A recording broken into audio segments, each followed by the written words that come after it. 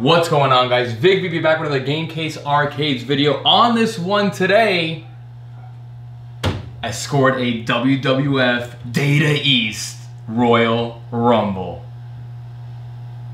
Take the tag! Let's take a look.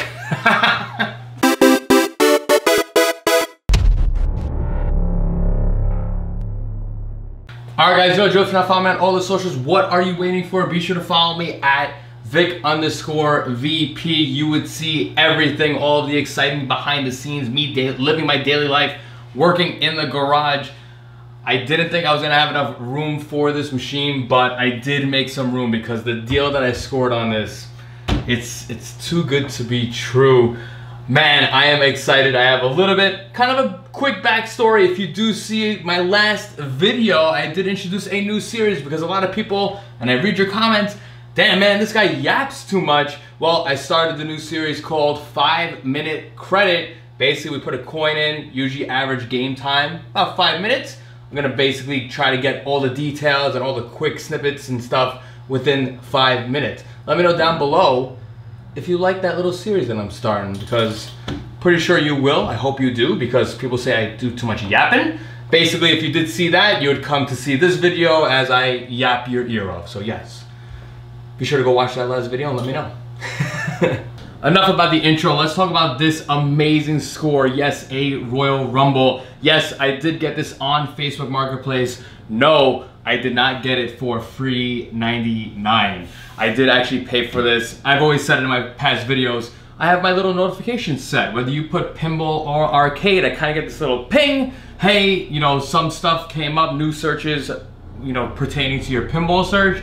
And sure enough, I open up the app and I lay my eyes on this beautiful Royal Rumble. Now I mentioned before in my little kind of five minute credit video, this is actually one machine of, I would probably say about five or six that I would actually want to own. And uh, yeah, this is also, I'm not gonna lie to you, this, it may or may not totally stay with me. Um, I do have plans, I did mention it, I do have plans to basically kind of flip this. I do have to fix this thing up. This thing is 30 years old. This right here came out in May 1994. Uh, you know, right now we are 2024. This came out when I was four years old. So it is 30 years old, a little bit over 30 years. And um, it's got a little bit of a backstory to it. I was really excited when I picked it up. Kind of crazy coincidence. The day before I saw the Facebook ad, I did grab a new dolly from Harbor Freight as really for this Illinois pinball machine, the V-Pin I'm building, I, I needed to move it around. I had it on a six foot table. The customer did not give me the legs. So I was like, let me get this dolly and I was kind of not gonna get it. Uh, it was on sale, so I was like, let me go get it. And then sure enough, it's like the gaming gods were watching over me and said, hey Vic, man, you got that new dolly? We're gonna give you a new pinball machine, or I should say, we're gonna give you a notification of a pinball machine coming out. But basically, that dolly saved my back, and it also helped me score the deal on this Royal Rumble. Now, just like any other game, I always get excited, especially for an actual machine that I I want. And I'm not gonna lie to you, this game right here, Royal Rumble, is really what got me motivated slash into virtual pinball. Yes, Royal Rumble. When I kind of saw a little glimpse of virtual pinball and I was kind of like just, you know, watching YouTube videos, I did see this.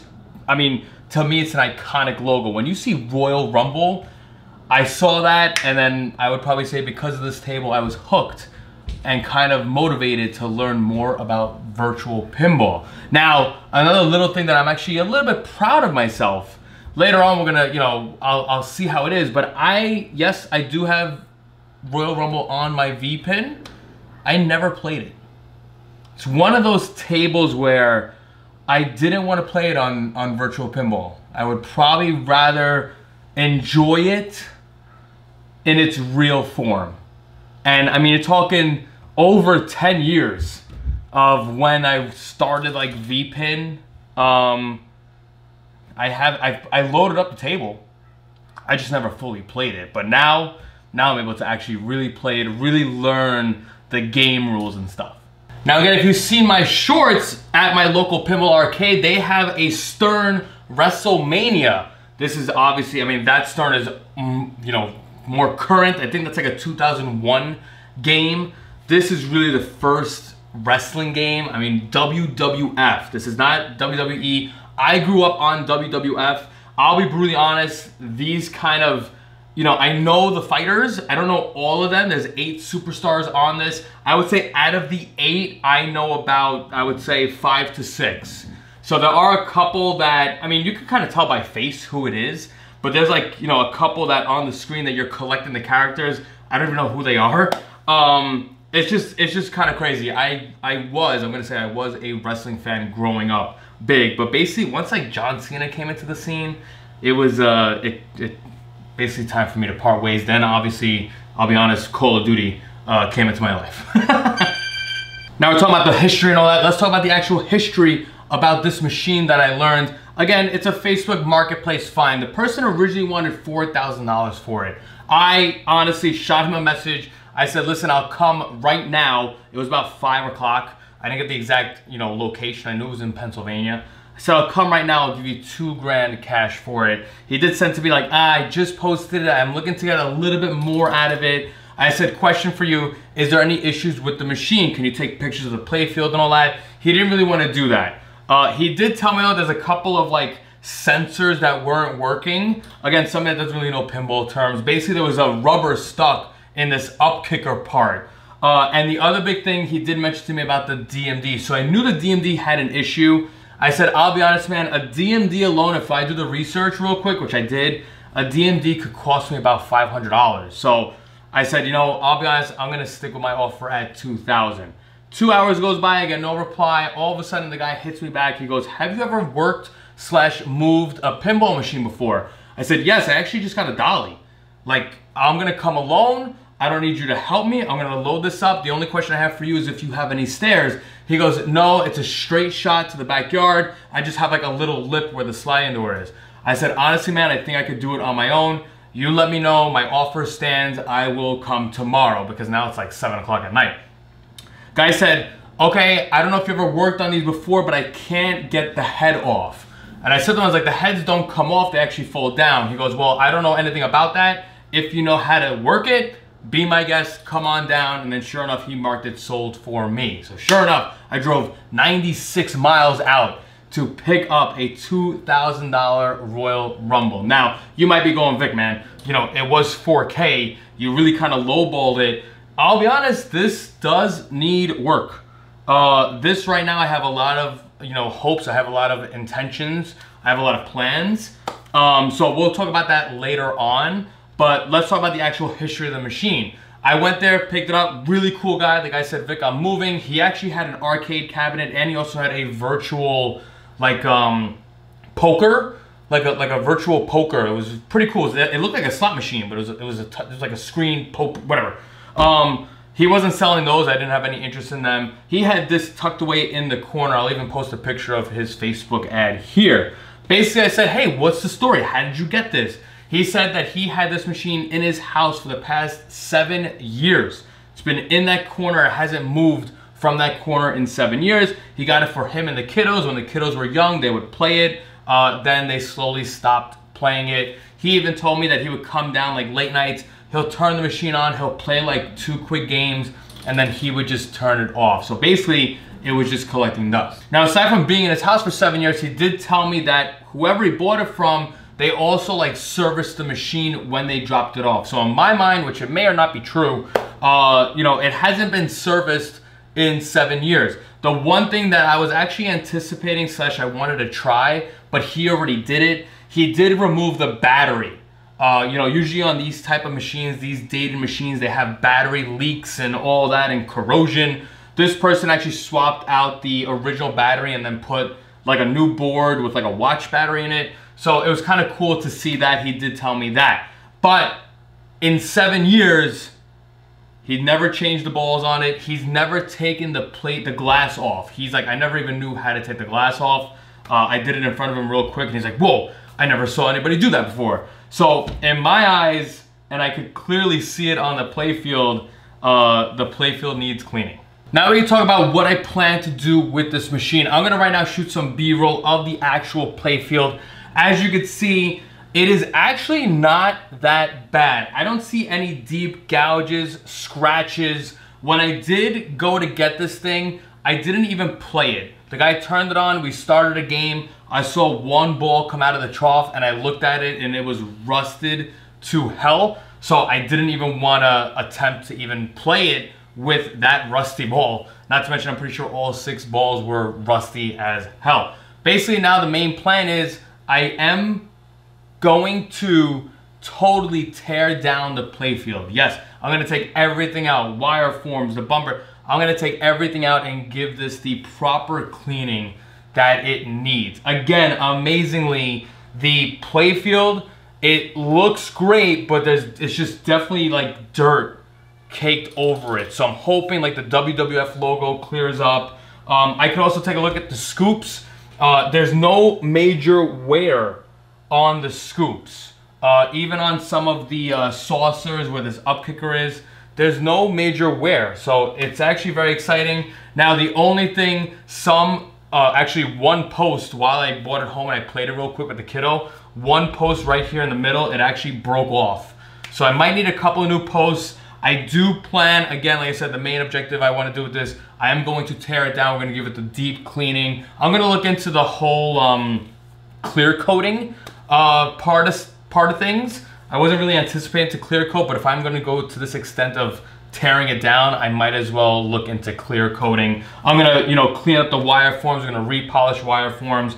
The ramp is not awful, but I'm gonna look into this flame polishing. I will be careful, don't worry, it is my machine, so I'll do whatever it is. But I do plan to do a whole new rubber set. Everything right now is just black rubbers, so I'm gonna go colorized um, and definitely gonna be doing an LED upgrade. So I will be putting LEDs throughout. We're gonna take all the halogen bulbs out, even inside of the back box, taking everything out. And the last and final upgrade that it is needed but I was gonna do it no matter what. I did get a color DMD. That was really honestly the first thing I actually swept the credit card yesterday for that. Now, I will be brutally honest, I did go the pin to DMD route. I did go on the cheaper end uh, because a color DMD is about 600 bucks, uh, whereas my PIN2DMD was on sale for 220. Coming from Australia shipped, it was just flat 220. So again, the objective with this pinball machine is to flip it. Maybe I'll own it. Maybe I'll keep it for a couple of months.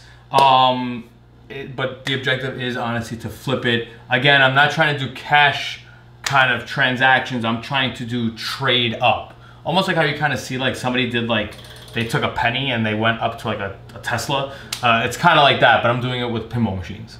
Now another cool thing, if you don't know, this machine is actually a wide body pinball machine. So this is not only my first Data East, this is not only my first like DMD era pinball machine, this is actually my first wide body pin. So it's a first of many. Uh, it's, you could, you could kind of feel a difference. It honestly brought me back to playing my original virtual pinball machine.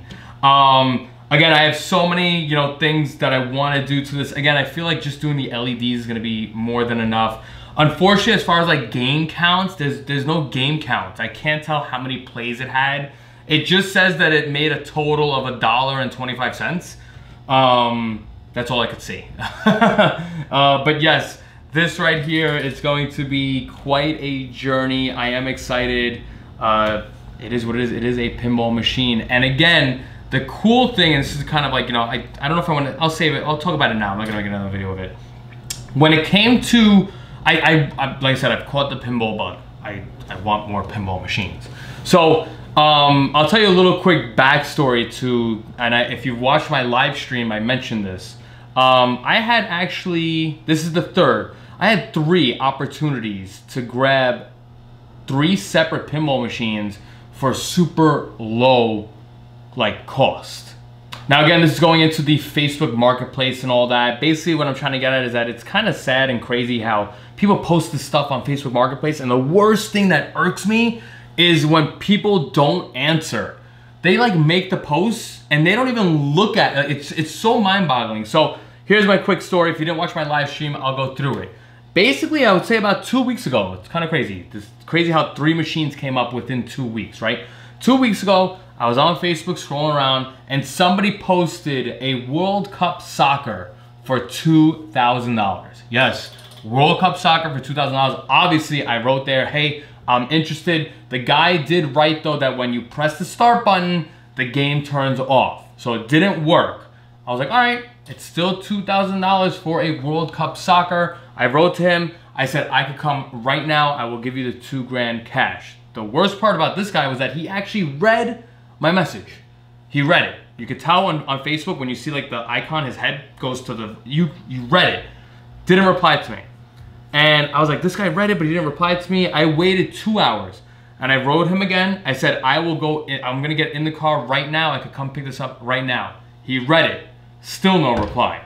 Going back and forth, and that's like the, I, it's just me. I'm I'm writing to him. I wrote four messages within I would say about six to eight hours, and he just wouldn't he wouldn't reply. The next morning, I got fed up, and it was still up for sale. That's another thing that kind of pissed me off is that it, it's not even marked pending. It's not even marked sold. It's still up for sale. And finally, I let him have it. I said, dude, not not for nothing, man, but it is crazy rude how you are reading my messages and you're not even giving me like an answer. You're just reading it. All of a sudden he replies back, he goes, I'm sorry, it's sold. And I was like, I'm pretty sure I'm the first one that messaged you. Why didn't you reply? Then he goes into, oh, you're not the only person that I left on read. Uh, I have health issues. I was already like, whatever, dude. I, I was already fed up. And then sure enough, when he replied and answering me, then he marked it sold and then he actually deleted the ad. It really pissed me off because it was a World Cup soccer for two grand and World Cup is an actual one of my six machines that I would actually like to own. It's a really great game. Now real quick to finish up the World Cup soccer story, what really got me ticked off was that the next day I saw this same exact World Cup soccer online for $4,100.